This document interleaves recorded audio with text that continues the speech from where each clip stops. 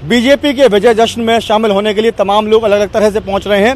ये कुछ लोग आए हैं देखिए पहले मैं तस्वीरों में दिखाऊँगा। एक अलग तरह की बजरंग बली का रूप धारण किया है इन्होंने। उसी तरह का लिबास पहना है उसी तरह का मेकअप है हाथ में गदा है और इनके साथ कुछ लोग हैं।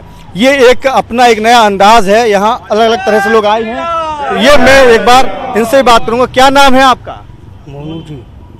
कहाँ से आना हुआ आपका? सावटपुर थोड़ा ज़ोर से बोलिए। अच्छा ये बताइए आपने यहाँ ये जो वेशभूषा धारण की है हनुमान जी बन के आए हैं इसके पीछे क्या खास वजह है? राम मंदिर का निर्माण। आप ही बताइए। जी राम मंदिर के निर्माण का संदेश देना चाहते हैं हम। वैशाखापुर मंडल से आए हैं। अशोक जिंदल राकेश सोनी जी प्रदीप जी और सभी साथी हमारे हाँ। यहाँ पर एक संदेश देना चाहते हैं कि राम मंदिर का निर्माण हो। तो हनुमान जी बन के आपके साथी आए हैं इसके पीछे वजह केवल मैसेज देना है या ध्यान आकर्षण करना भी है? मैसेज देना कि राम मंदिर का निर्माण हो।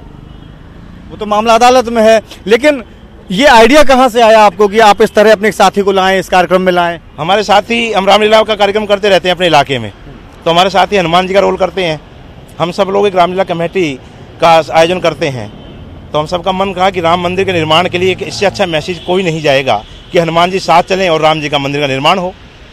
तो जैसा सुना आपने हनुमान जी की जो वेशभूषा में आए हैं उनका कहना है कि इससे संदेश देना चाह रहे हैं कि राम मंदिर बनना चाहिए और इसलिए चूँकि ये लोग रामलीला के जो पात्र हैं और उनको किरदार है, उनको निभाते हैं मंच पे और इसलिए इनका अपना एक आइडिया था कि हम इस वेशभूषा में, हनुमान जी की वेशभूषा में कार्यक्रम स्थल पर पहुँचें Raghavendra Dwivedi, news one India, Delhi.